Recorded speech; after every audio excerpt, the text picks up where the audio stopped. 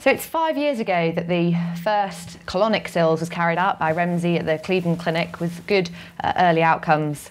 And a year later, the first case series came out of Australia, seven right hemicolectomies, again with good initial results.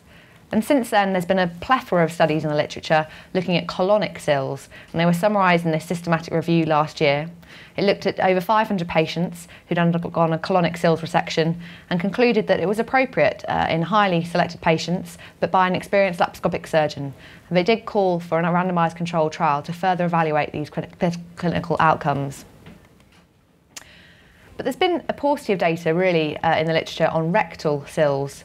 This is Tony Dixon, who's the surgeon in Bristol who's leading uh, the innovation in our hospital in, in the UK, um, performing over 200 colorectal SILS procedures. And we've published our good uh, initial results and short-term outcomes, including papers on panproctocolectomy and pouches performed by SILS technique.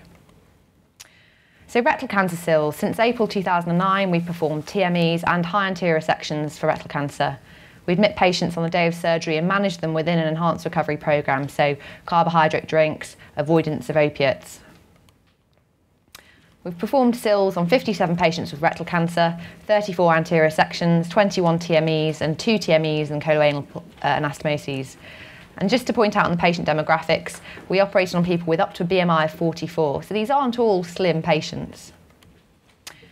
The results, operative time medium of 98 minutes, um, and after a relatively low intraoperative fentanyl dose of 282 uh, mean, um, all patients but one were managed post-operatively with just IV paracetamol, uh, tap blocks or uh, intraperitoneal local anaesthetic, and um, occasional doses of Oromorph. Only one patient required IM uh, or IV morphine.